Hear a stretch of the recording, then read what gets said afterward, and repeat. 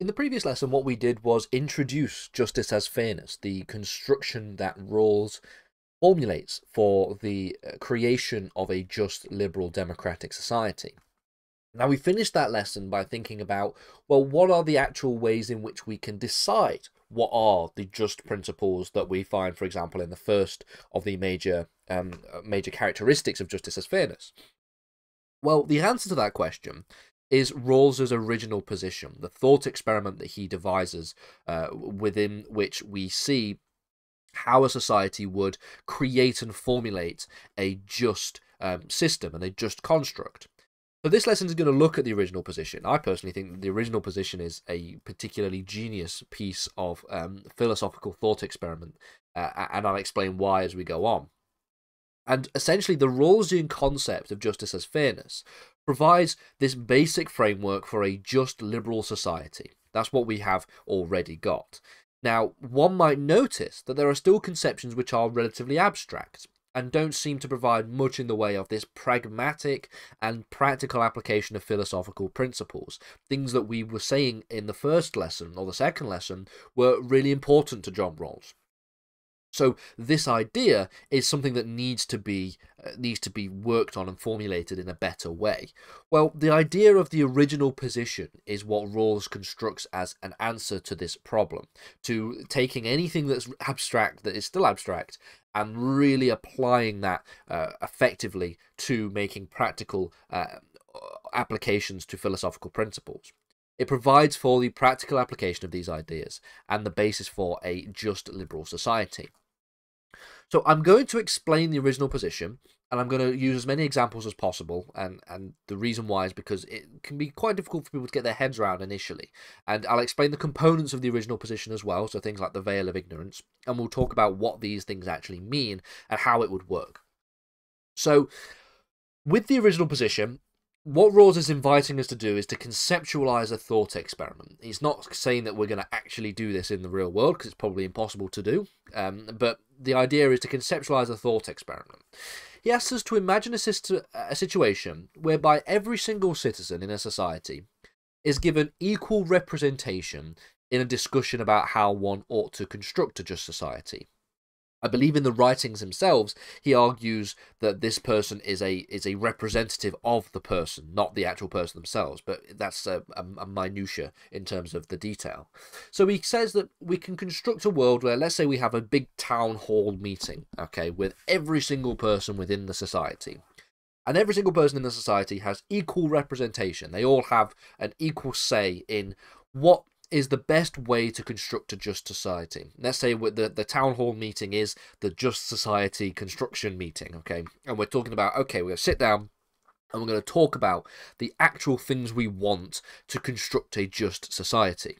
Now, imagine it as a blank canvas and it's like we're going to build a society we're going to build the socio-legal institutions we're going to build the policies and everyone is going to have an equal say now at this point you might think, well, if that happens, nobody is ever going to agree on anything because some people are going to want some things, some people are going to want other things. You're going to have people saying that they are um, that they're that they're hard done to economically and socially, and so they want more. But you have those people who think that they are um, that they uh, don't deserve that, and all these different things. Okay, so and so obviously at this point, the blank canvas would not particularly get filled with anything of any kind of detail or interest okay? But this is what the original position is at this point okay? It is inviting us to conceptualize a, a big meeting with all of the people um, within a society all having equal representation discussing how to build a society.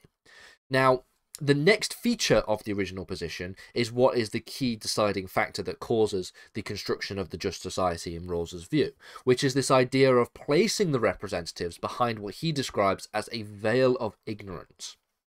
So we have everyone in our society, we have everyone in our meeting, okay? And now what happens then is they all get put into a veil of ignorance or put behind a veil of ignorance. And what the veil of ignorance will do is deprive all members of this new society any knowledge about their position within said society. Okay? So they will not know anything about themselves. They will not know their race, their gender, their wealth, their income, their class, anything at all. Okay? And so the parties do, however, know that everyone in society will have different life plans and ambitions, and that the society will be not one of infinite resources. There will be a scarcity of resources. Okay. So let's say you go into this meeting, okay, but before you go into this meeting, you get put through a machine and it wipes your memory of any uh, understanding. So you don't know whereabouts you are in um, in this in, in this constructive society. You don't know your race, you don't know your gender, you don't know your wealth, your income, your class. You don't know anything like that. Okay. But what you do know is that everyone in this in this big meeting, A has equal representation in this big meeting. So they all have an equal say and an equal voice. Uh, B, they all have different life plans and ambitions, but we just don't know what these life plans and ambitions are because we don't know where each of us are within within the society. And we know that in the middle of the society, let's say, there's a big stash of wealth. There's a big stash of money, and that is the scarcity of resources. That is all we have to construct a society. Okay, we have a big uh, pile of money, let's say, and then that is all we have. Now we have to construct a society out of this amount of uh, scarcity of resources. The reason why Rawls uh, formulates this this final point here is because of A, we do have a scarcity of resources in society, resources aren't infinite, and so as a result of that, we have to construct a way in which we can get the best benefit for the most amount of people. And that is to uh, to make basically make the absolute most out of this scarcity of resources. So other um, uncontroversial things that obviously we, we know about within the within the veil of ignorance is basic facts of human social life. So anything like that the, the most important thing is that you do not know whereabouts within society you are placed, whether you are black or white, whether you are a man or a woman, whether or not you're rich or poor, whether or not you have a, a good job or a bad job, whether or not you were born into a wealthy family or uh, or into a working class family, all of these different things, you don't have a clue. Okay, you don't know what any of these things, uh, whereabouts you are. Now, what uh, from so from these different situations we've, we've we've constructed this thought experiment the representatives are now going to design a society and they're going to design a society that will best suit their interests okay and what Rawls argues is that nobody, because nobody knows whereabouts they are within society, they don't know if they're upper class, lower class, black, white, etc., etc., they will agree to create a system that is the most just for the most amount of people because they're acting in their best interest. Because if you don't know whereabouts you are in that society, it is in your best interest to construct a society that best serves the interests of the most amount of people to sort of hedge your bets in a way to sort of get to a position where well when I do get back my my information about where I am in the society I know I'll be happy because this society regardless of where I am within it is going to is going to serve the best interest for the most amount of people. So even if I'm really really poor or I'm from a uh, from a minority ethnic background, all these different things, okay, it doesn't matter because I've now constructed a society that is to the benefit of these people as well as to the benefit of the most of everybody else. That is the idea of the veil of ignorance, okay?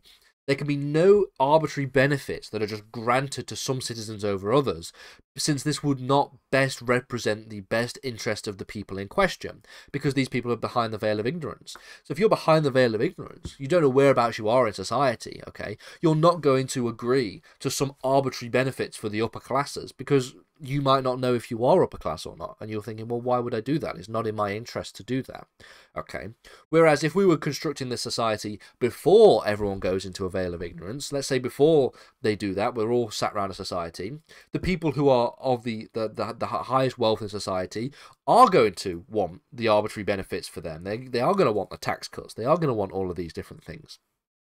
And so as a result of that, um, taking away their knowledge of where they are in society is what Rawls argues is the ways in which we can construct a society that is the most just for the most amount of people, that serves the best interest of everyone. Because everybody who is constructing the society within the original position is serving their own best interest in trying to make this construction.